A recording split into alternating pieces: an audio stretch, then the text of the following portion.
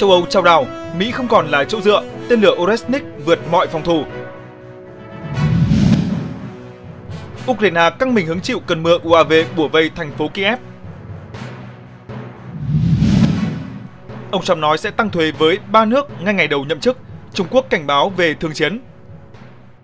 Kính chào quý vị đến với những tin tức thời sự vừa được cập nhật mới nhất của chúng tôi. Sau đây là phần tin chi tiết. Mời quý vị cùng theo dõi.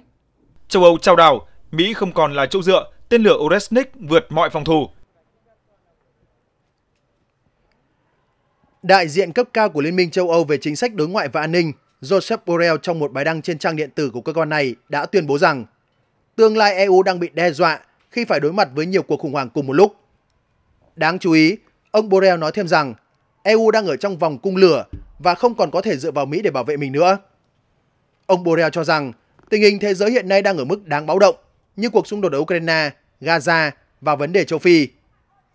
Ông Borrell viết, những sự kiện mà chúng ta phải đối mặt trong vài tháng qua, thật không may, đã xác nhận trần đoán được đưa ra trước đó. Châu Âu đang gặp nguy hiểm. Môi trường địa chính trị của chúng ta đang xấu đi và các cuộc xung đột và khủng hoảng đang gia tăng ngay trước cửa nhà chúng ta, từ Ukraine đến Trung Đông, qua Nam Caucasus, sừng châu Phi hoặc Sahel. Theo nhà ngoại giao châu Âu, tình hình thế giới hiện nay trong bối cảnh cam kết tương lai của Mỹ đối với an ninh châu Âu đã trở nên không chắc chắn hơn rất nhiều. Đặc biệt là khi ông Donald Trump tái đắc cử Tổng thống Mỹ. Ông Borrell viết rằng, hạnh phúc và tương lai của chúng ta không thể tiếp tục phụ thuộc vào tâm trạng của cử tri Mỹ vùng Trung Tây 4 năm một lần. Ông đồng thời kêu gọi các quốc gia thành viên của khối EU tăng cường quốc phòng của chính họ. Ông Borrell cũng tuyên bố rằng có một nguy cơ nghiêm trọng là cuộc xung đột ở Ukraine có thể giúp củng cố liên minh của các nước còn lại chống lại phương Tây.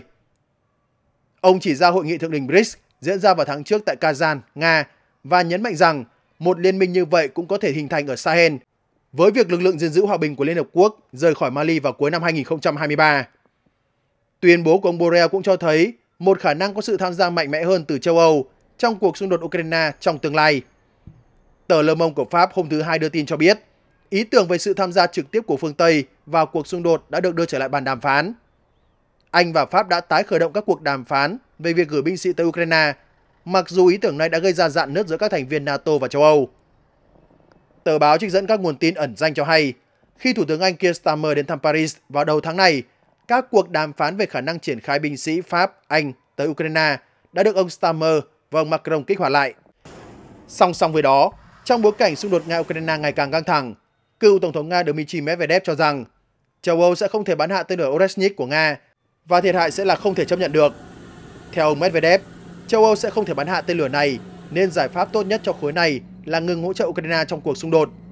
Cụ thể, ông Medvedev tuyên bố, châu Âu đang tự hỏi tên lửa Oresnik có thể gây thiệt hại như thế nào nếu có đầu đạn hạt nhân chiến thuật? Liệu có thể bắn hạ những tên lửa này không? Và tên lửa sẽ đến thủ đô châu Âu nhanh như thế nào? Câu trả lời là thiệt hại sẽ không thể chấp nhận được. Họ cũng không thể bắn hạ tên lửa, trong khi Resnik có thể đến mục tiêu trong vài phút. Các hầm trú bom sẽ không giúp ích được gì. Họ chỉ có thể hy vọng Nga sẽ cảnh báo trước về các vụ phóng. Do đó, họ nên ngừng hỗ trợ quân sự cho Ukraine. Bình luận về kế hoạch mới của Tổng thống Ukraine Volodymyr Zelensky, ông Medvedev khuyên nhà lãnh đạo Ukraine nên gần với thực tế hơn. Ông tuyên bố nhiều quan chức Ukraine sẽ sẵn sàng thu dọn hành lý và bỏ cuộc một khi đối mặt với tình cảnh khó khăn.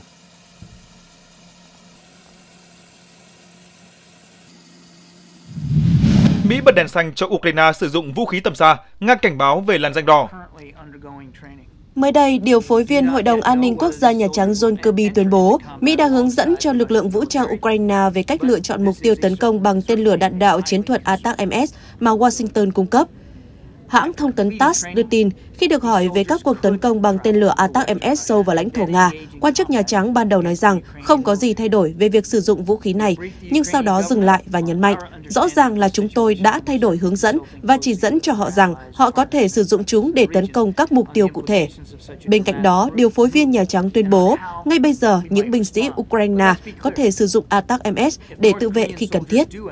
Đây là lần đầu tiên Mỹ công khai xác nhận việc gỡ hạn chế cho Ukraine về việc sử dụng vũ khí tầm xa do Washington cung cấp tấn công sâu vào Nga. Trước đó, tờ New York Times đưa tin về vấn đề này, song chính quyền Mỹ không công khai thừa nhận nhưng cũng chưa hề phủ nhận.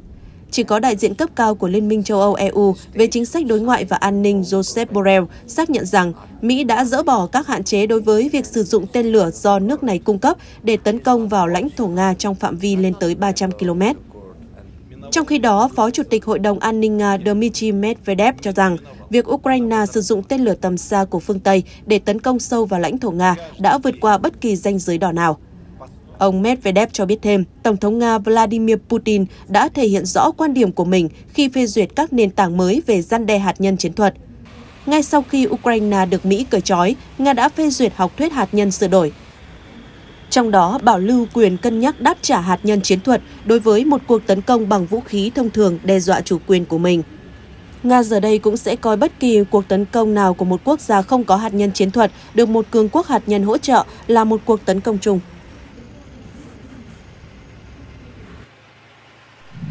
Mỹ thử nghiệm thành công tên lửa PRSM, vũ khí vượt trội đe dọa phòng không Nga. Quân đội Mỹ mới đây đã thực hiện thành công những bài kiểm tra đặc biệt đối với tên lửa PRSM, loại đạn tấn công dự kiến sẽ dành cho hệ thống phá phản lực M142 HIMARS và M270 MLRS. Đại diện nhà sản xuất Lockheed Martin cho biết, trong quá trình thử nghiệm, hệ thống HIMARS đã phóng hai tên lửa PRSM và bắn trúng mục tiêu với vòng tròn sai số thấp. Bài kiểm tra khẳng định độ chính xác và khả năng sẵn sàng chiến đấu của vũ khí. Đại diện của tập đoàn Lockheed Martin cho biết, sau khi cuộc thử nghiệm diễn ra thành công, tên lửa đạn đạo chiến thuật PRSM đã thể hiện hiệu suất tác chiến cũng như độ tin cậy vượt trội so với các sản phẩm cũ. Theo hãng chế tạo Lockheed Martin, tên lửa PRSM đáp ứng khả năng tấn công các mục tiêu ở khoảng cách từ 60 km tới 500 km trong phiên bản tiêu chuẩn và có thể tăng tầm ở các biến thể mới. Khả năng tấn công chính xác cao giúp PRSM tung các đòn tấn công hiệu quả vào các mục tiêu nằm sâu trong hậu tuyến đối phương như kho tàng, sở chỉ huy và các khí tài có giá trị cao khác. Đây là yếu tố giúp tên lửa chiến thuật mới tăng sức hút trên thị trường vũ khí quốc tế trước các đối thủ tên lửa chiến thuật từ Nga và Trung Quốc. Khi so sánh với tổ hợp Iskander của Nga, thông số kỹ thuật của PRSM không hề thua kém. Ngoài ra, do kích thước nhỏ gọn, mỗi xe mang phóng tự hành thuộc tổ hợp pháo phản lực M142 HIMARS và M270 MLRS có thể chứa từ 2 đến 4 tên lửa PRSM thay vì chỉ từ 1 đến 2 như ATAC-MS. Ngoài ra, kiến trúc mở của vũ khí mang lại tiềm năng hiện đại hóa lớn hơn. Lục quân Mỹ hiện đang xem xét hai phiên bản cải tiến của tên lửa, đó là PRSM Increment 2 với hệ thống dẫn đường đa chế độ, còn được gọi là tên lửa chống hạm trên đất liền LBASM. Bên cạnh đó là PRSM Increment 3 với đầu đạn nặng hơn, trong khi vẫn duy trì kích thước và tầm bắn.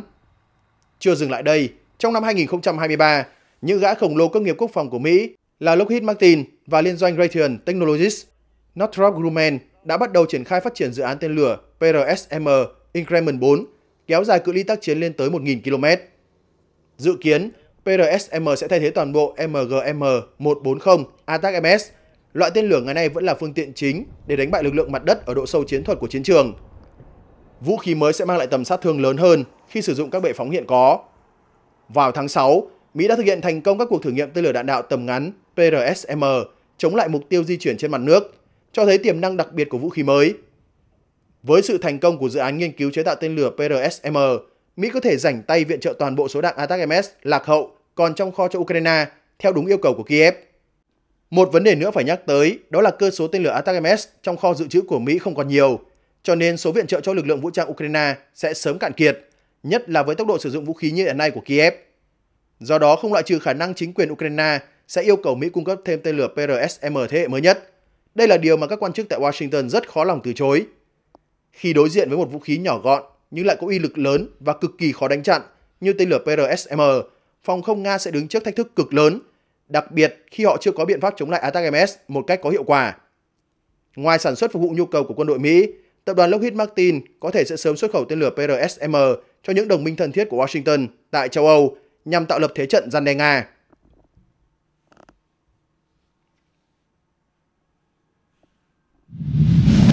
Đức biến ga tàu điện thành hầm trú bom giữa lúc căng thẳng với Nga.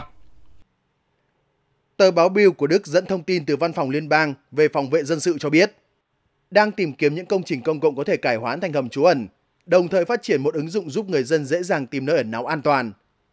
Ngoài ra, giới chức Đức còn khuyến khích người dân dựng nơi trú ẩn an toàn ở tầng hầm trong nhà, cũng như thiết lập lại mạng lưới hầm trú ẩn công cộng, từng bị coi là không còn cần thiết từ năm 2007. Hiện Đức chỉ còn 579 hầm trú ẩn trên cả nước, đủ chỗ cho hơn 500.000 người ẩn náu trong trường hợp xung đột hoặc chiến tranh nổ ra. Trong khi đó, tổng dân số của quốc gia Trung Âu này lên tới 84,4 triệu người. Ông Ralph Tiesler, lãnh đạo văn phòng liên bang về phòng vệ dân sự cảnh báo phải mất cả một thế hệ mới có thể xây dựng được mạng lưới hầm trú ẩn mới. Chính vì thế, Đức cần phải tìm kiếm những giải pháp nhanh chóng hơn. Đến thời điểm này, giới chức Đức đã bắt tay vào thiết lập danh sách các nhà ga tàu điện, văn phòng, công trình công cộng có thể sử dụng làm nơi trú ẩn trong trường hợp xảy ra tình trạng khẩn cấp. Sau khi hoàn tất thiết lập danh sách, người dân Đức có thể sử dụng một ứng dụng điện thoại để xác định vị trí bong ke gần với mình nhất. Trước đó, tờ báo Frankfurter Allgemeine Zeitung của Đức đưa tin, Đức cũng đã bắt đầu chuẩn bị cho một cuộc xung đột quy mô lớn với Nga bằng cách phát triển kế hoạch hoạt động của Đức dày 1.000 trang, nội dung của tài liệu hầu hết là bí mật. Tài liệu viết, kế hoạch liệt kê tất cả các tòa nhà và cơ sở hạ tầng cần được bảo vệ đặc biệt vì lý do quân sự. Sau đó, trong trường hợp xảy ra xung đột ở sườn phía đông của NATO, Đức sẽ trở thành trung tâm của hàng chục nghìn và có thể là hàng trăm nghìn binh sĩ cần được vận chuyển về phía đông. Theo ấn phẩm, lực lượng vũ trang Đức gần đây đã bắt đầu chuẩn bị cho các công ty ứng phó với tình huống khẩn cấp trong tương lai trên cơ sở kế hoạch bí mật này. Vì vậy, người đứng đầu cơ quan chỉ huy bảo vệ lãnh thổ của bang liên bang Hamburg, John Plisker đã khuyên tại cuộc họp với đại diện các công ty Đức nên đào tạo ít nhất 5 trong số 100 nhân viên lái xe tải, tích trữ máy phát điện diesel, xây dựng kế hoạch trước cho người lao động khi gặp khủng hoảng. Kế hoạch thời chiến cập nhật của Đức được đưa ra trong bối cảnh Tổng thống Nga Vladimir Putin đưa ra cảnh báo đối với các nước phương Tây. Xung đột ở Ukraine đã bước sang năm thứ ba, chưa có hồi kết rõ ràng và lo ngại rằng cuộc xung đột có thể lan sang một cuộc chiến rộng hơn liên quan đến NATO. Hồi tháng 6, tờ Der Spiegel dẫn lời Bộ trưởng Bộ Quốc phòng Đức Boris Pistorius cho hay chúng ta phải sẵn sàng cho chiến tranh vào năm 2029. Không chỉ Đức, một số nước như Anh cũng bày tỏ sự cần thiết mức độ sẵn sàng. Cựu Bộ trưởng Bộ Quốc phòng Anh Ben Wallace hồi tháng 2 cảnh báo chiến tranh đang đến với Anh vào cuối thập kỷ này và cần đầu tư nhiều hơn vào quốc phòng. Ukraine sẽ nhận thêm hai hệ thống Iris-T từ Đức vào cuối năm 2024. Trang The Kiev Independent dẫn lời Tổng thống Ukraine Volodymyr Zelensky cho hay, nước này sẽ nhận hệ thống phòng không Iris-T thứ 6 của Đức trong năm nay. Thông tin được nhà lãnh đạo đưa ra sau cuộc điện đàm với Thủ tướng Đức Olaf Scholz. Ukraine đã vận động các đối tác quốc tế giúp tăng cường năng lực phòng không sau khi Nga tăng cường các cuộc tấn công vào cơ sở hạ tầng năng lượng. Thiếu tướng Đức Christian Freuding nói với các nhà báo ở Kiev rằng, Ukraine sẽ nhận được hai hệ thống phòng không tầm ngắn và tầm trung Iris-T từ Berlin vào cuối năm 2024. Tướng Freuding lưu ý rằng trong những ngày gần đây, Đức đã chuyển pháo, xe tăng, xe chiến đấu bộ binh Marder sang Ukraine và cũng đã bắt đầu chương trình UAV tấn công. Ông nói, các hệ thống Iris-T, SLM tầm trung và SLS tầm ngắn tiếp theo sẽ đến Ukraine trong những ngày và tuần tới trước Giáng sinh. Nhưng sự hỗ trợ của chúng tôi sẽ tiếp tục sau Giáng sinh và sau ngày 1 tháng 1 và sau ngày 21 tháng 1 và sau ngày 23 tháng 2, ngày được đề xuất cho các cuộc bầu cử liên bang ở Đức. Theo hãng tin Bloomberg, đến năm 2026, Ukraine dự kiến sẽ nhận được 24 hệ thống phòng không Iris-T từ Đức, bao gồm 12 phiên bản tầm trung Iris-T SLM và 12 phiên bản tầm ngắn Iris-T SLS. Hệ thống tầm ngắn có thể bắn trúng mục tiêu ở khoảng cách 12 km và ở độ cao lên tới 8 km. Trong khi đó, hệ thống tầm trung có thể bắn trúng mục tiêu ở khoảng cách 40 km và ở độ cao 20 km. Iris-T có thể mang theo 8 tên lửa, có tính cơ động và có thể vận chuyển trên xe tải do nhà sản xuất DN Defense của Đức chế tạo. Ông Fabian Hoffman, chuyên gia về công nghệ tên lửa tại Đại học Oslo của Đan Mạch nhận định, một trong những lợi thế của Iris-T là khả năng cơ động, giúp giảm khả năng vũ khí này bị tấn công. Các tên lửa được trang bị trên Iris-T có thể đạt tốc độ khoảng Mach 3, tương đương với 1020 m một giây và được phóng theo phương thẳng đứng nên không có điểm mù ngay phía trên hệ thống. Tên lửa cũng được trang bị hệ thống vector lực đẩy và hệ thống dẫn đường hồng ngoại phản ứng với nhiệt phát ra từ mục tiêu giúp tăng độ chính xác. Bên cạnh đó, hệ thống phòng không Iris-T cũng được trang bị radar giám sát không phận TRML-4D có khả năng hoạt động tốt ngay cả trong những môi trường nhiều vật thể gây nhiễu. Ông Hoffman nói thêm, khi quét tên lửa hành trình hoặc UAV bay khá gần mặt đất, sẽ có cây cối, núi non, nhiều tòa nhà cản đường và phải lọc ra những thứ đó để phân biệt đâu là mối đe dọa thực sự. Iris-T có tầm xa với khả năng lọc nhiễu tuyệt vời và khả năng theo dõi mục tiêu bay đến, sau đó dẫn đường cho tên lửa đánh chặn tiến đến mục tiêu đó. Đức đề xuất huấn luyện quân đội Ukraine cấp tiểu đoàn và lữ đoàn. Hồi tháng 10, trang Ukrinform đưa tin, ông Yevhen Mezevkin, Phó Cục trưởng Cục Học thuyết và Huấn luyện của Bộ Tổng tham mưu các lực lượng vũ trang Ukraine cho biết, vào các năm 2022, 2023, 2024, hơn 100.000 binh sĩ đã được đào tạo trên lãnh thổ các nước đối tác trong nhiều lĩnh vực huấn luyện khác nhau, bắt đầu từ cơ bản, chuyên sâu theo từng quân binh chủng tới phối hợp chỉ huy. Đại diện Bộ Tổng tham mưu lực lượng vũ trang Ukraine cho biết thêm, hợp tác với các nước trong khối NATO và đối tác theo hướng huấn luyện quân đội Ukraine vẫn tiếp tục và phát triển. Cũng theo Ukrinform, điều phối viên trưởng viện trợ quân sự Đức cho Ukraine, tham mưu trưởng phụ trách kế hoạch của Bộ Quốc phòng Đức, Thiếu tướng Christopher Freuding cho biết, các giảng viên quân sự Đức có thể giúp nâng cao hiệu quả của lực lượng Kiev ở cấp tiểu đoàn và lữ đoàn. Tuy nhiên, sự thành công của chương trình còn phụ thuộc vào thời gian mà Bộ Chỉ huy Ukraine có thể cử binh sĩ đi huấn luyện. Theo vị tướng này, việc huấn luyện quân đội Ukraine là trọng tâm của các cuộc thảo luận giữa Ukraine và Đức. Ông Freuding cho biết, chúng tôi đang nghiên cứu các ý tưởng về huấn luyện, đặc biệt là cấp sở chỉ huy tiểu đoàn và lữ đoàn để làm cho họ hiệu quả hơn. Vấn đề chính vẫn là thời gian đào tạo. Phía Đức đưa ra các khóa học kéo dài 6 tuần, nhưng Bộ Chỉ huy Ukraine do nhu cầu chiến đấu cấp bách nên thường giới hạn trong thời gian từ 2 đến 4 tuần. Bình luận về khả năng huấn luyện quân nhân Ukraine trên lãnh thổ Ukraine, tướng Đức lưu ý rằng ông không thấy bất kỳ lợi ích thực tế nào trong việc này. Ông nói sẽ nguy hiểm hơn vì Nga sẽ cố gắng tấn công bất kỳ cơ sở huấn luyện nào ở Ukraine, nơi quân đội NATO đồn trú. Điều này sẽ đòi hỏi chúng tôi phải nỗ lực tổ chức nhiều hơn nữa. Chúng tôi có cơ sở đào tạo tuyệt vời ở Đức và tất cả các nước NATO khác ở châu Âu với điều kiện huấn luyện tốt hơn nhiều. Vì vậy, tôi nghĩ rằng đào tạo ở Đức, ở châu Âu là giải pháp tốt hơn nhiều vì hiệu quả hơn nhiều do chúng tôi không phải lo lắng về an ninh. Trước đó, Trung tướng Andreas Malu, người đứng đầu Bộ Chỉ huy huấn luyện đặc biệt của Liên minh châu Âu EU gần Berlin, Đức cho biết, xe tăng Liên Xô cũ từ các bảo tàng đã được sử dụng để huấn luyện quân đội Ukraine về những chiến thuật mà binh sĩ Nga sử dụng trên chiến trường. Theo ông Malu, các giảng viên từ 17 quốc gia đã tham gia đào tạo khoảng 18.000 quân nhân Ukraine tại Đức về kỹ năng vận hành xe tăng và hệ thống phòng không chính xác. Ông Malu nói, những hệ thống vũ khí Liên Xô đang được phía Nga sử dụng và đôi khi họ đặt bẫy mìn trong những thiết bị bị bỏ lại. Việc giới thiệu về những phương tiện như vậy trong quá trình huấn luyện giúp lực lượng Ukraine dễ dàng hình dung nơi nào họ cần thận trọng để đảm bảo rằng họ không vô tình kích hoạt một vụ nổ nếu tìm thấy xe tăng Liên Xô trên chiến trường và mở cửa.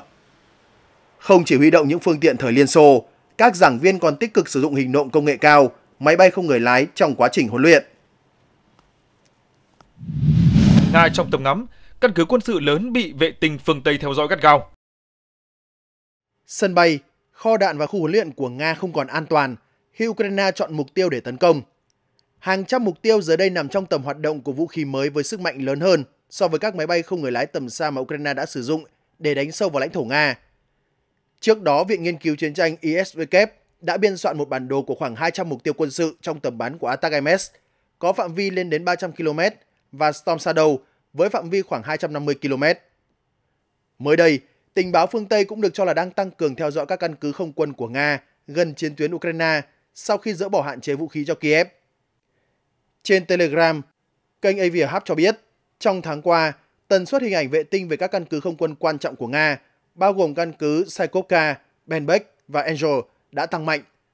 Theo các chuyên gia, hoạt động này có liên quan đến việc Ukraine chuẩn bị cho các cuộc tấn công tiềm năng bằng vũ khí phương Tây. Sự chú ý đặc biệt tập trung vào Saikovka, nơi có hơn 79 hình ảnh vệ tinh được ghi lại trong một tháng, và Angel, một căn cứ chiến lược quan trọng đối với không quân Nga. Mức độ quan tâm ngày càng tăng cũng được ghi nhận ở khu vực Benbek, bán đảo Crimea, khi các vệ tinh phương Tây thường xuyên ghi lại những chuyển động và số lượng máy bay Nga ở đó. Phương Tây giám sát tích cực bằng vệ tinh như vậy là do hạn chế của máy bay trinh sát NATO. Cho đến nay, ông Putin cũng đã kiềm chế không thực sự tấn công phương Tây. Một bước đi có thể dẫn đến một cuộc đối đầu trực tiếp giữa Nga và Liên minh NATO. Cuộc đối đầu mà Tổng thống Mỹ Joe Biden nhận định sẽ là thế chiến thứ ba. Trong tuyên bố của mình, người đứng đầu Điện Kremlin đã thông báo với phương Tây rằng Nga có quyền tấn công các cơ sở quân sự của các quốc gia cho phép Ukraine sử dụng tên lửa của họ để tấn công Nga. Cho đến nay, những nước này chỉ bao gồm Mỹ và Anh. Trả lời phỏng vấn của Reuters, cựu cố vấn Điện Kremlin Sergei Markov cho biết, Tổng thống Putin đang gửi thông điệp tới phương Tây rằng hãy dừng lại và lùi bước. Tín hiệu mà ông Putin đang gửi đến thế giới là chúng tôi coi những cuộc tấn công này là sự tham gia trực tiếp của Mỹ và Anh vào một cuộc xung đột chống lại Nga. Ukraine căng mình hứng chịu cơn mưa UAV bủa vây thành phố Kiev. Reuters đưa tin, thị trưởng Kiev Vitaly Klitschko trong một bài viết trên Telegram cho biết, thủ đô của Kiev đang phải hứng chịu một cuộc tấn công liên tục bằng máy bay không người lái UAV của Nga vào sáng sớm ngày 26 tháng 11 theo giờ địa phương. Ông Klitschko thông tin, cuộc tấn công bằng máy bay không người lái của Nga vào thủ đô Kiev vẫn tiếp diễn. Lực lượng phòng không đang hoạt động ở nhiều khu vực khác nhau của thành phố. Máy bay không người lái đang tiến vào thủ đô từ nhiều hướng khác nhau. Các nhân chứng của Reuters cho biết đã nghe thấy một loạt tiếng nổ giống như hệ thống phòng không đang hoạt động. Thủ đô Kiev, khu vực xung quanh và phần lớn lãnh thổ Ukraine đang trong tình trạng báo động không kích. Tại Kiev, báo động không kích đã bắt đầu từ tối 25 tháng 11 theo giờ địa phương. Theo lực lượng không quân Ukraine, Nga đã có sự thay đổi trong chiến thuật sử dụng máy bay không người lái để tấn công lãnh thổ nước này. Trước đây, các cuộc tấn công bằng máy bay không người lái của Nga luôn diễn ra vào ban đêm hoặc khi trời tối. Tuy nhiên, thời gian gần đây Nga cũng đã triển khai các cuộc tấn công bằng máy bay không người lái vào ban ngày. Lực lượng không quân Ukraine đồng thời cảnh báo rằng trước sự thay đổi chiến thuật sử dụng máy bay không người lái của Nga, báo cáo về các hoạt động phòng không của Ukraine cũng có thể thay đổi. Trước đó, Bộ Quốc phòng Nga cho biết, quân đội nước này đã tiến hành nhiều cuộc tấn công phối hợp vào cơ sở hạ tầng quân sự và lưỡng dụng quan trọng của Ukraine, bao gồm các sân bay và cơ sở năng lượng. Cuộc tấn công liên quan đến nhiều loại máy bay không người lái, tên lửa và pháo binh, quân đội Nga cho biết. Ngoài các sân bay và cơ sở năng lượng được sử dụng để cung cấp cho các doanh nghiệp thuộc tổ hợp công nghiệp quân sự của Ukraine, khoảng 138 địa điểm quân sự khác của Ukraine cũng bị tấn công. Trong khi quân đội Nga không nêu rõ mục tiêu cụ thể, báo giới Ukraine đã đưa tin rằng Kiev, thành phố cảng Odessa ở phía nam, thành phố Kharkov ở phía đông cùng nhiều địa điểm khác đã bị ảnh hưởng. Theo ước tính của Ukraine, cuộc tấn công có sự tham gia của hơn 100 UAV cảm tử Gerdan 2. Đợt không kích mới diễn ra trong bối cảnh hai bên tham chiến đang tăng cường các cuộc tấn công tầm xa vào đối phương. Việc Kiev sử dụng các hệ thống tầm xa, chẳng hạn như Attack-MS của Mỹ và Storm Shadow của Anh, đã thúc đẩy Moscow sử dụng tên lửa đạn đạo siêu thanh Oresnik hoàn toàn mới của mình. Tên lửa mới đã được thử nghiệm trên thực địa vào tuần trước và được sử dụng cho một cuộc tấn công bất ngờ vào Yuzmas, nhà máy rộng lớn thời Liên Xô, nằm ở thành phố Dnipro của Ukraine. Trong những tháng gần đây, Nga chủ yếu tập trung vào các cuộc tấn công bằng UAV quy mô lớn để áp đảo hệ thống phòng không của Ukraine tại các thành phố trên cả nước. Không quân Ukraine từng thống kê rằng Nga đã phóng ít nhất 4.300 UAV tấn công loại Shahed và các UAV tương tự từ tháng 8 đến tháng 10 năm 2024. Mặc dù các cuộc tấn công bằng tên lửa là điều thường thấy ở các khu vực phía đông của Ukraine, nhưng hầu hết các thành phố, bao gồm cả Kiev, đã phần lớn tránh được các cuộc tấn công quy mô lớn nhắm vào cơ sở hạ tầng trong những tháng gần đây. Cuộc tấn công lớn gần đây nhất xảy ra vào cuối tháng 8. Ngay lập tức, biên chế lô Su-34 mới xuất xưởng vào lực lượng không quân.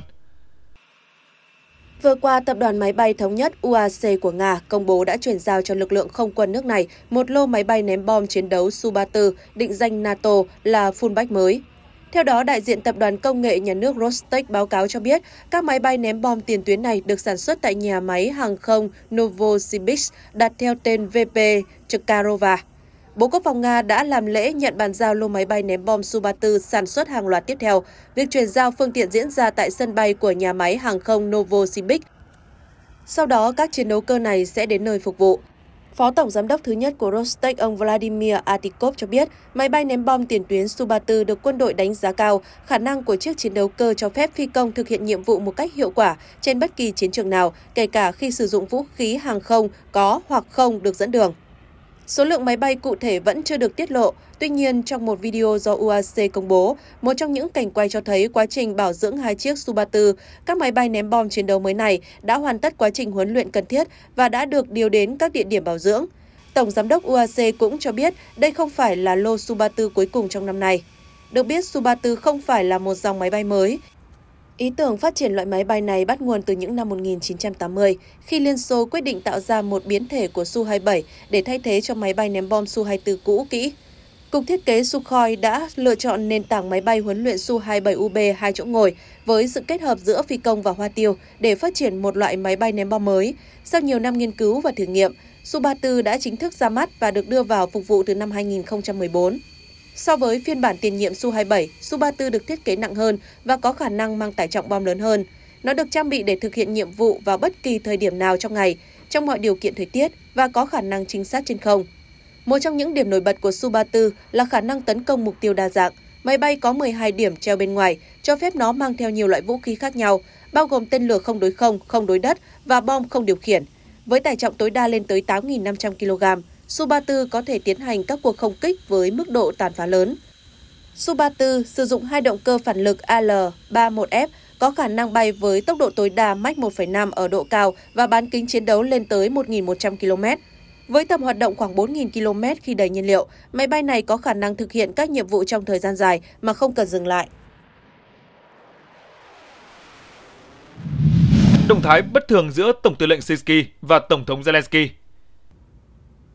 Tổng tư lệnh quân đội Ukraine Alexander Sitsky bị cáo buộc vì cản trở sự phát triển của lực lượng UAV, một đơn vị mới được thành lập theo sáng kiến của Tổng thống Zelensky.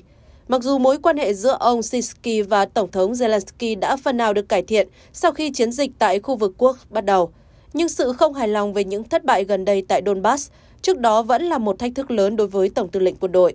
Điều này làm dấy lên nghi ngờ về tương lai của ông Sitsky trong bối cảnh các thay đổi nhân sự đang được cân nhắc. Mới đây nhất, ông Oleg Soskin, cựu cố vấn của cựu Tổng thống Leonid Kupma cho biết trên kênh YouTube của mình, xung đột đã nảy sinh giữa Tổng thống Ukraine Zelensky và Tổng tư lệnh các lực lượng vũ trang Ukraine Alexander Sisky. Ông lưu ý, ông Sisky thực hiện một số nhiệm vụ nhất định và điều quan trọng là ông ấy không còn đến họp cùng ông Zelensky, nghĩa là chúng ta có thể nói rằng mâu thuẫn đã vượt ra ngoài khuôn khổ. Theo chuyên gia Oleg Soskin, ông Zelensky đang mất quyền kiểm soát đất nước. Ông Soskin tin rằng rất có thể trong thời gian tới ban lãnh đạo quân đội sẽ rời bỏ quyền lực của mình. Nhiệm kỳ tổng thống của ông Zelensky đáng lẽ ra đã phải kết thúc vào ngày 20 tháng 5. Đầu tháng 10, theo một cuộc khảo sát xã hội được thực hiện ở Ukraine, gần 70% người Ukraine tin rằng các cuộc bầu cử nên được tổ chức trong nước, bất chấp tình trạng thiết quân luật. Cuộc bầu cử tổng thống ở Ukraine vào năm 2024 đã bị hủy bỏ với lý do thiết quân luật và tổng động viên. Ông Zelensky tuyên bố rằng cuộc bầu cử hiện đang không kịp thời. Điện Kremlin ghi nhận nỗ lực giải quyết xung đột Nga-Ukraine của đội ngũ ông Trump. Theo TASS, trong tuyên bố mới đây, phát ngôn viên Điện Kremlin Dmitry Peskov xác nhận rằng Moscow đã ghi nhận những nỗ lực thúc đẩy đàm phán hòa bình từ đội ngũ của ông Donald Trump. Theo đó, người phát ngôn Điện Kremlin cho biết, chúng tôi ghi nhận những gì ông Mike Vance đã nói trong cuộc phỏng vấn gần đây. Các ứng cử viên trong nội các của ông Donald Trump đều nói tới từ hòa bình hoặc kế hoạch hòa bình, điều mà chúng tôi không thấy từ chính quyền Tổng thống Biden. Thực tế, chính quyền Mỹ đương nhiệm đang tìm cách phức tạp hóa tình hình xung đột. Cũng theo ông Peskov, Tổng thống Nga Vladimir Putin và Moscow vẫn duy trì quan điểm sẵn sàng đối thoại để giải quyết vấn đề Ukraine. Trước đó, hạ nghị sĩ Mike Vance, người được Tổng thống đắc cử Mỹ Donald Trump chọn làm cố vấn an ninh quốc gia, đã vạch ra chiến lược của chính quyền mới để giải quyết xung đột Nga-Ukraine. Cụ thể, trả lời phỏng vấn đài Fox News, ông Vance nhấn mạnh rằng ưu tiên chính của chính quyền mới sẽ là tổ chức các cuộc đàm phán giữa Nga và Ukraine về một lệnh ngừng bắn hoặc thỏa thuận hòa bình. Ông Vance nói rằng các cuộc đàm phán sẽ bắt đầu ngay từ ngày đầu tiên của nhiệm kỳ ông Trump. Nhà lập pháp này cũng chỉ trích các quyết định gần đây của chính quyền Tổng thống Joe Biden, chẳng hạn thông tin Washington đồng ý cho Ukraine sử dụng tên lửa tầm xa của Mỹ tấn công sâu vào lãnh thổ Nga. Ngoài ra ông Vance cho biết, ông đã gặp cố vấn an ninh quốc gia Mỹ Jake Sullivan, đồng thời cảnh báo rằng các đối thủ của Mỹ không nên lợi dụng giai đoạn chuyển giao ở Mỹ để gây rắc rối. Được biết, ông Vance từng tham gia lực lượng gìn giữ hòa bình của Liên Hợp Quốc, nên được cho là sẽ trở thành trợ thủ đắc lực của ông Donald Trump trước hàng loạt thách thức về chính sách đối ngoại, bao gồm các cuộc xung đột ở Ukraine, Gaza và Liban. Ông Vance cũng từng chỉ trích gay gắt chính phủ Nga, nhưng cũng đồng thời lập luận rằng chính sách hiện tại của Mỹ nhằm thúc đẩy nỗ lực chiến đấu của Ukraine cần phải chấm dứt để tìm kiếm giải pháp đàm phán. Điển hình như trong một sự kiện cách đây ít lâu, ông cho biết cần phải đánh giá lại mục tiêu của Mỹ ở Ukraine. Ông Wans khẳng định, liệu xung đột tại Ukraine có vì lợi ích của Mỹ hay không? Chúng ta có nên lãng phí thời gian, tiền bạc và các nguồn lực mà chúng ta cần ở Thái Bình Dương ngay lúc này không? Đáng chú ý, ông Wans cũng ca ngợi ông Donald Trump vì đã thúc đẩy các đồng minh NATO chi nhiều hơn cho quốc phòng. Tuy nhiên, khác với Tổng thống đắc cử Mỹ, ông không ủng hộ việc Washington rút khỏi liên minh quân sự này. Ông Trump nói sẽ tăng thuế với ba nước ngay ngày đầu nhậm chức. Trung Quốc cảnh báo về thương chiến. Tổng thống đắc cử Mỹ Donald Trump tuyên bố sẽ ký sắc lệnh hành pháp trong ngày đầu tiên nhậm chức để tăng thuế với những đối tác thương mại hàng đầu của Washington. Trong loạt bài đăng trên mạng xã hội Truth Social mới đây, ông Trump thông báo sẽ áp thuế 25% với hàng hóa nhập từ Canada và Mexico, đồng thời áp thêm 10% thuế vào hàng hóa từ Trung Quốc. Nhiều mặt hàng ở Trung Quốc đã chịu mức thuế trong nhiệm kỳ đầu của ông Trump. Ông Trump nhấn mạnh Mức thuế mới nhằm thúc đẩy cả ba quốc gia nỗ lực hơn nữa để tăng cường an ninh biên giới và chấn áp hoạt động xuất khẩu chất gây nghiện fentanyl sang Mỹ. Ông nêu thêm cả Mexico và Canada đều có quyền và sức mạnh để dễ dàng giải quyết vấn đề âm ỉ lâu nay. Ông cho biết, chúng tôi yêu cầu họ sử dụng sức mạnh đó. Đã tới lúc họ phải trả giá đắt cho đến khi giải quyết vấn đề trên. Trong chiến dịch tranh cử Tổng thống, ông Trump đã cảnh báo áp thuế nhập khẩu từ 10 đến 20% đối với tất cả hàng hóa nước ngoài và tối đa 60% đối với hàng hóa Trung Quốc. Canada, Mexico và Trung Quốc là những đối tác thương mại lớn nhất của Mỹ. Đại sứ quán Trung Quốc tại Washington, ông Lưu Bằng Vũ, ngay sau đó đã cảnh báo Mỹ về kịch bản chiến tranh thương mại sau khi Tổng thống đắc cử Donald Trump dọa sẽ tăng thuế quan áp lên hàng hóa Bắc Kinh. Ông nói, cả Mỹ và Trung Quốc sẽ đều không thắng trong một cuộc chiến tranh thương mại, đồng thời nhấn mạnh Bắc Kinh tin rằng hợp tác kinh tế và thương mại giữa hai nước về bản chất là cùng có lợi. Không ai sẽ thắng trong một cuộc chiến thương mại hay một cuộc chiến thuế quan. Ông Trump đã tuyên bố sẽ áp thuế cho đến khi Trung Quốc ngăn chặn dòng chảy gây nghiện bất hợp pháp, đặc biệt là fentanyl vào Mỹ. Trong tuyên bố, ông Lưu cho biết Trung Quốc đã thực hiện các bước để chống lại buôn lậu ma túy sau khi đạt được thỏa thuận vào năm ngoái giữa Tổng thống Mỹ Joe Biden và Chủ tịch Trung Quốc Tập Cận Bình. Ông tuyên bố Trung Quốc đã thông báo với phía Mỹ về những tiến triển đạt được trong các hoạt động thực thi pháp luật liên quan đến Mỹ nhằm chống ma túy. Do vậy, những phát biểu của ông Trump cho rằng Bắc Kinh cố tình cho phép các tiền chất fentanyl tràn vào Mỹ hoàn toàn đi ngược lại sự thật và thực tế. Tại Mỹ, nơi lạm dụng fentanyl đã trở thành một nguyên nhân chính gây tử vong. Chính quyền Washington đã kêu gọi Bắc Kinh thực hiện các biện pháp mạnh mẽ hơn trong việc thực thi pháp luật, bao gồm cả việc xử lý tài chính bất hợp pháp và tăng cường kiểm soát đối với các loại hóa chất. Mỹ bị cô lập, không nhận được sự ủng hộ trên trường quốc tế. Vừa qua, phát biểu tại cuộc họp của Hội đồng Bảo an Liên Hợp Quốc về Trung Đông, Phó đại diện thường trực Nga tại Liên Hợp Quốc, ông Dmitry Polyansky cho hay, Mỹ nhận thấy mình hoàn toàn bị cô lập trên trường quốc tế sau khi phủ quyết một dự thảo nghị quyết khác của Hội đồng Bảo an Liên Hợp Quốc kêu gọi ngừng bắn ngay lập tức ở giải Gaza. Ông Polyansky nói, sau khi phủ quyết dự thảo do 10 nước này soạn thảo, Mỹ thấy mình hoàn toàn bị cô lập trên trường quốc tế. Cách tiếp cận của Mỹ không được chia sẻ ở Trung Đông hoặc bởi các thành viên của Hội đồng Bảo an hoặc bởi phần lớn các quốc gia thành viên Liên Hợp Quốc. Chính sách ngăn chặn hoạt động của Hội đồng Bảo an Liên Hợp Quốc về Trung Đông của Washington vẫn là một vết nhơ đối với danh tiếng của chính quyền Mỹ sắp mãn nhiệm, điều mà họ sẽ không bao giờ có thể rửa sạch được. Hội đồng Bảo an Liên Hợp Quốc gồm 15 thành viên đã bỏ phiếu với tỷ lệ 14-1 cho nghị quyết hôm 20 tháng 11, được 10 thành viên không thường trực đưa ra. Nghị quyết đã không được thông qua vì phiếu chống của Mỹ, một trong năm thành viên thường trực của hội đồng. Đây là lần thứ tư Mỹ sử dụng quyền phủ quyết của mình để ngăn chặn một nghị quyết của Hội đồng Bảo an Liên Hợp Quốc kêu gọi ngừng bắn ở Gaza. Về phần mình, ông Polyansky cho biết Nga sẽ tiếp tục ủng hộ các biện pháp quyết liệt để ngăn chặn đổ máu ở Gaza. Để đạt được mục đích đó, phái bộ Nga tại Liên Hợp Quốc sẵn sàng hợp tác với các thành viên có trách nhiệm của Hội đồng Bảo an và với Đại hội đồng Liên Hợp Quốc. Ngoài ra, sự trở lại của ông Donald Trump trên cương vị Tổng thống Mỹ nhiệm kỳ 2 được dự báo có những tác động mạnh mẽ với khu vực châu Á. Từ căng thẳng Mỹ-Trung, lo ngại của Nhật Bản và Hàn Quốc, đến cơ hội chiến lược của Ấn Độ châu Á đang chuẩn bị đối mặt với những chuyển biến lớn trong chính sách đối ngoại của Mỹ. Lập trường của ông Donald Trump về Trung Quốc có vẻ đơn giản nhưng nó phức tạp hơn người ta tưởng. Trong khi đó, các đồng minh của Washington ở Đông Á đang tiếp cận sự trở lại của ông Donald Trump một cách thận trọng. Tại Hàn Quốc, Tổng thống John suk yeol phải đối mặt với một tình huống tế nhị hơn. Ở Seoul, có những lo ngại rằng ông Donald Trump có thể khôi phục mối quan hệ cá nhân với nhà lãnh đạo Triều Tiên Kim Jong-un, có khả năng làm ảnh hưởng đến lợi ích của Hàn Quốc, trong khi lại yêu cầu tăng cường cam kết chia sẻ gánh nặng vì an ninh của nước này. Với Ấn Độ, Thủ tướng Ấn Độ Narendra Modi có thể xem sự trở lại của ông Donald Trump như một cơ hội để củng cố mối quan hệ chiến lược với Mỹ. Các đối tác của Washington ở châu Á dường như nhận thấy rằng việc ông Trump trở lại Nhà Trắng có thể khiến Mỹ giảm bớt sự can dự vào khu vực này. Tóm lại, sự trở lại Nhà Trắng của ông Donald Trump hứa hẹn sẽ mang đến nhiều thay đổi cho chính sách đối ngoại của Mỹ tại châu Á.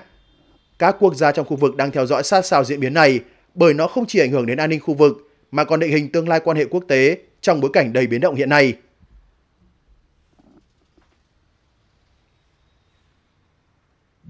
Trung Quốc và Belarus bắt tay nâng tầm bắn pháo phản lực Bolone lên 500 km.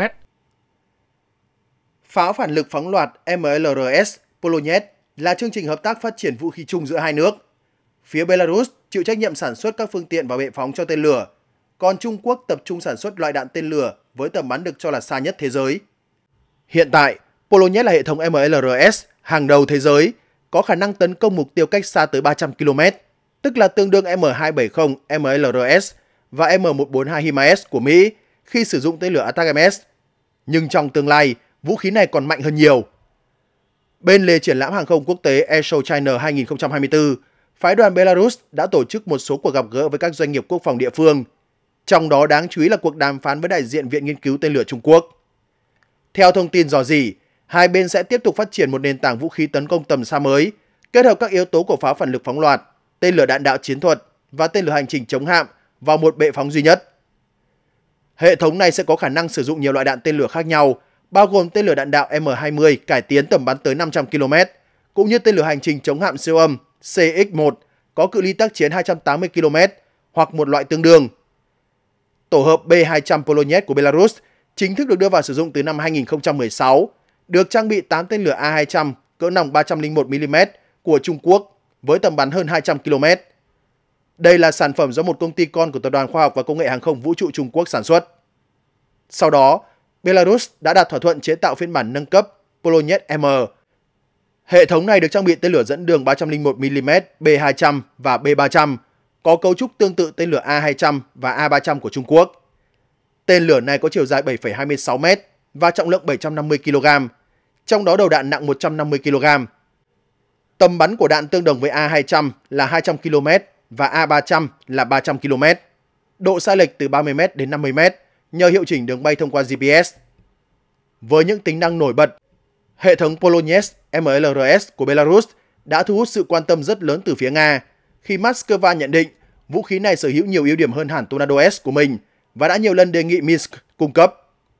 Tuy vậy, vấn đề Belarus viện trợ hệ thống pháo phản lực phóng loạt Polonet cho Nga để sử dụng trên chiến trường Ukraine đã gặp phải trở ngại nghiêm trọng khi bắt buộc phải có sự đồng ý của Trung Quốc. Hệ thống MLRS Polonet được Belarus phát triển với sự tham gia của các chuyên gia Trung Quốc.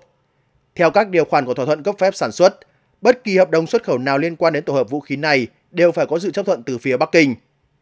Chính vì vậy, mặc dù mới đây Belarus đã phải huy động xe tăng, thiết giáp, pháo binh từ các đơn vị đang làm nhiệm vụ trực chiến của mình để giao cho Nga, nhưng hệ thống Polonet vẫn còn nằm ngoài danh sách trên, dù Minsk đã huấn luyện sẵn binh sĩ Nga cách sử dụng. Đức tiến hành điều tra xung quanh vụ máy bay chở hàng rơi ở Litva. Các hãng truyền thông đưa tin, dạng sáng 25 tháng 11, chiếc Boeing 737-400 chở hàng lao xuống sát nhà dân gần sân bay quốc tế Vilnius ở Litva. Máy bay lao xuống đất, vỡ thành nhiều mảnh và trượt hơn 100 mét trước khi đâm vào ngôi nhà. Người trên mặt đất an toàn, nhưng một thành viên phi hành đoàn quốc tịch Tây Ban Nha thiệt mạng và ba người bị thương. Máy bay thuộc sở hữu của hãng vận tải có trụ sở tại Tây Ban Nha, Swissair, khai thác thay mặt cho tập đoàn vận tải quốc tế DHL, máy bay khởi hành từ thành phố Leipzig của Đức trước khi bị rơi gần sân bay Vilnius. Bình luận về vụ máy bay chở hàng rơi ở Litva, Bộ trưởng Bộ Ngoại giao Đức Annalena Baerbock nói với báo giới, bây giờ chúng ta phải nghiêm túc đặt câu hỏi, liệu đây là một vụ tai nạn hay là một âm mưu phá hoại khác? Theo tờ The Guardian, bà Baerbock ám chỉ đến sự cố đứt cáp gần đây ở biển Baltic, làm dấy lên những đồn đoán về hành vi phá hoại. Bà Baerbock nói thêm, Đức đang hợp tác rất chặt chẽ với giới chức Litva để giải quyết vấn đề này. Sau đó, Bộ trưởng Bộ Quốc phòng Đức Boris Pistorius cho biết vẫn chưa có phát hiện nào cho thấy có chất nổ trên máy bay. Giới chức Litva cho rằng không có dấu hiệu nào cho thấy đây là một vụ tấn công hay phá hoại. Bộ trưởng Bộ Quốc phòng Litva Laurinas Kasiunat nói, cho đến nay không có dấu hiệu hay bằng chứng nào cho thấy đây là hành động phá hoại hay tấn công cực đoan. Đồng thời cho biết cuộc điều tra để xác định nguyên nhân có thể mất khoảng một tuần. Người đứng đầu cơ quan phản gián Litva, Darius Joniskis cũng cho biết, chúng tôi không bác bỏ giả thuyết một vụ tấn công cực đoan, nhưng hiện tại chúng tôi không thể đưa ra kết luận vì chưa có thông tin nào như vậy. Tổng ủy viên cảnh sát Litva Arunas Paulauskas cho hay các điều tra viên đang xem xét các nguyên nhân có thể xảy ra, bao gồm lỗi kỹ thuật và cả lỗi của con người. Trong khi đó, Đức tuyên bố sẽ tiến hành cuộc điều tra độc lập và liên hệ chặt chẽ với các tổ chức liên quan trong và ngoài nước để tìm hiểu tận gốc tình hình nhanh nhất có thể. Đầu tháng này, Litva thực hiện nhiều vụ bắt giữ khi điều tra hình sự về vụ việc gửi các thiết bị gây cháy trên các máy bay đến phương Tây. Theo phương tiện truyền thông Ba Lan và Litva, các thiết bị như máy massage điện có chất dễ cháy đã được gửi từ Litva đến Anh vào tháng 7. Đây có thể là nguyên nhân gây ra vụ cháy xe tải bên ngoài Warsaw, Ba Lan. Nga và Iran hoàn toàn chuyển sang giao dịch bằng đồng tiền quốc gia của mình. Theo đài RT, Thống đốc Ngân hàng Trung ương Iran CBI Mohammad Reza Fazil cho biết, Nga và Iran đã từ bỏ việc sử dụng đồng đô la Mỹ trong giao dịch song phương, chuyển sang đồng tiền quốc gia của mình. Người đứng đầu CBI đã đưa ra những phát biểu tại hội nghị lần thứ 11 về hệ thống ngân hàng và thanh toán hiện đại tại Tehran. Ông cho biết động thái này là một phần của kế hoạch chống lại các lệnh trừng phạt bất công. Hãng thông tấn Iran Far News dẫn lời ông Fazil cho biết, Chúng tôi đã ký kết một thỏa thuận tiền tệ với Nga và từ bỏ đồng đô la Mỹ. Bây giờ chúng tôi chỉ giao dịch bằng đồng rúp và rial. Vị thống đốc cũng tiết lộ rằng các cơ quan tài chính của hai quốc gia đã thống nhất về tỷ giá hối đoái sẽ được sử dụng cho các giao dịch thương mại nước ngoài. Iran và Nga, cả hai đều chịu các lệnh trừng phạt của Mỹ, lần đầu tiên công bố kế hoạch sử dụng đồng tiền quốc gia của mình thay cho đồng đô la Mỹ trong giao dịch thương mại song phương vào tháng 7 năm 2022. Tháng 12 năm 2023, họ đã hoàn tất thỏa thuận giao dịch bằng đồng rúp và đồng rial. Theo thỏa thuận này, các ngân hàng và doanh nhân được phép sử dụng các nền tảng tài chính và ngân hàng thay thế, chẳng hạn như các hệ thống chuyển tiền không phải SWIFT. Hồi đầu tháng này, ông Fazin công bố rằng Moscow và Tehran đã chính thức hoàn tất việc ghép nối các hệ thống thanh toán quốc gia của họ, Mir và Setap, cho phép du khách từ hai quốc gia này sử dụng thẻ ghi nợ trong nước để mua hàng tại Iran hoặc Nga. Giới chức Iran cho biết, Tehran cuối cùng đã có thể bắt đầu sử dụng hệ thống thanh toán Mir của Nga để thanh toán với các đối tác quốc tế khác. Phát biểu tại buổi lễ đánh dấu việc ghép nối hai hệ thống thanh toán, Thống đốc Fazia phát biểu rằng việc tích hợp các hệ thống ngân hàng của hai nước như một bước tiến lớn hướng tới việc tạo ra sự hợp tác kinh tế tích hợp trong khu vực, hoàn thành quá trình phi đô la hóa và tạo điều kiện thuận lợi cho quan hệ kinh tế và du lịch giữa Iran và Nga. Ông Fazin tiếp tục ca ngợi sự kết nối giữa hệ thống thanh toán ngân hàng Mir của Nga và CETAC của Iran là một thành tựu khác trong việc phát triển các tương tác ngân hàng. Bằng cách kết nối các mạng lưới thanh toán quốc gia giữa hai nước, ranh giới của các khoản thanh toán điện tử sẽ được xóa bỏ và một chương mới sẽ bắt đầu trong hợp tác kinh tế và văn hóa của hai quốc gia, quan chức này nhấn mạnh.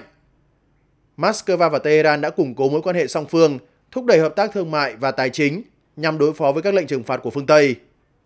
Hồi tháng 10, Điện Kremlin cho biết khối lượng thương mại song phương đã tăng 12,4% chỉ trong 8 tháng đầu năm nay, sau khi đạt hơn 4 tỷ đô la Mỹ vào năm 2023. Theo Thống đốc Fajin, Iran cũng đã nỗ lực thúc đẩy thương mại và hợp tác trong khối các nền kinh tế mới nổi BRICS.